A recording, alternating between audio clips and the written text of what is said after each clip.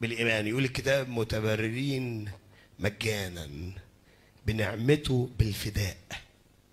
متبررين إيه؟ مجانا يعني أنا مفيش ثمن أدفعه.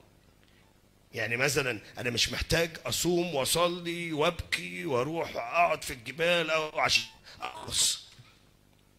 الخلاص ليس بالأعمال الخلاص بعمل المسيح الكفاري. أما التقديس ده مستوى تاني. التقديس ده بيحتاج منك أعمال. إن أنت عشان تبقى إنسان مقدس محتاج تلتصق بالرب وإنك تعيش حياة روحية حياة مقدسة في طاعة كاملة لكلمة الله. ده ده حاجة تانية. أنا ما بتكلمش عن التقديس أنا بتكلم عن التبرير لأن دي كلها مستويات. أنا بتكلم عن التبرير الذي هو بالخلاص. بعمل المسيح الكفاري على الصليب.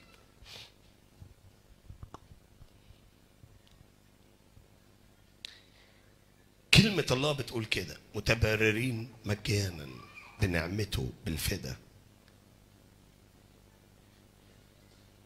هل قبلت يسوع؟ تقول لي ما أنا مسيحي. المسيحية يا أحبائي مش مش في البطاقة مش مش يعني الإيمان لا يورث.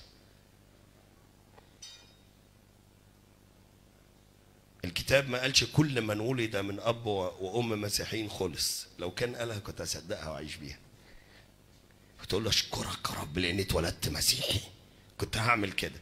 لكن الكتاب ما قالش كل الذي اتولد من أب وأم مسيحيين فهو خلص لا. كل ما كل من قبل المسيح رب وسيد على حياته خلص اذا القبول ده بإرادتك. في مسيحيين كثيرين بلا مسيح. اسمهم مش مكتوب في سفر الحياة. انت لو مت هتروح فين؟ هو ده السؤال اللي المفروض تسأله لنفسك.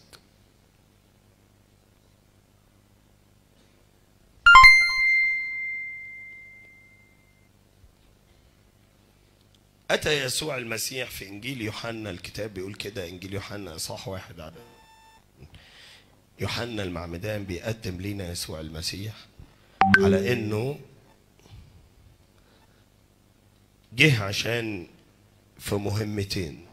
أول مهمة يوحنا بيقدم لينا خدمة يسوع بيقول هوذا حمل الله هوذا حمل الله الذي يرفع خطية العالم. حمل الله الذي إيه؟ يرفع خطية العالم. بيقدم لينا يسوع على انه إيه؟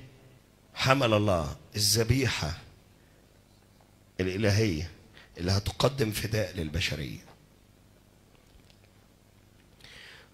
وبعد كده يقول كده متى جاء ذاك؟ الروح الروح قال لي متى جاء ذاك سيعمدكم بالروح القدس ونار. اذا الرب يسوع يعمل حاجتين. في كنايس كتير ما علمتش الإنجيل الكامل.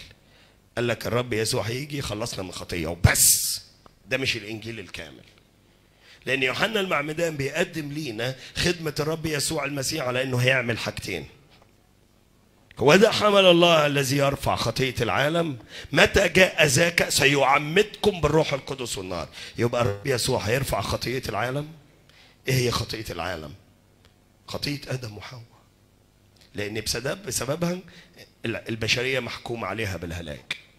فالرب جاي يرفع الخطية دي. ياخد هو الحكم. وقال متى جاء ذاك سيعمدكم بإيه؟ بالروح القدس والنار. يعني رب يسوع يخلصك من خطيه ويعمدك بالروح القدس والنار. في كنايس كتير فرحت بالخلاص. هل